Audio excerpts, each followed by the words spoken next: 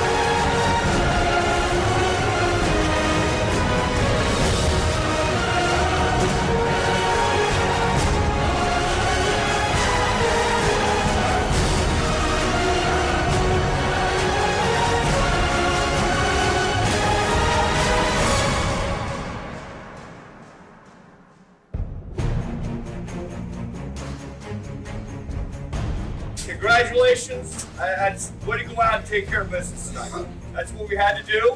You guys did play like champions. You are champions. Oh, yeah. Okay? And the other thing, I just want to reiterate, reiterate again. Okay? I'm so damn proud of our high school right now. Okay? Two soccer conference championships, volleyball conference championship, both cross country, football. What more can you guys ask? Right now, hey, listen to this. We own 17 of the 18 conference championships are in our building right now. Okay? When you talk basketball, wrestling, we got 17 of the 18 at the school right now. That's a pretty damn good school.